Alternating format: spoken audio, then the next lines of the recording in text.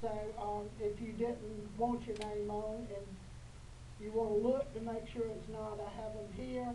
I would appreciate an email from y'all if your name is on there and you did not want your name on this lawsuit or did not give permission to have your name on there to let me know.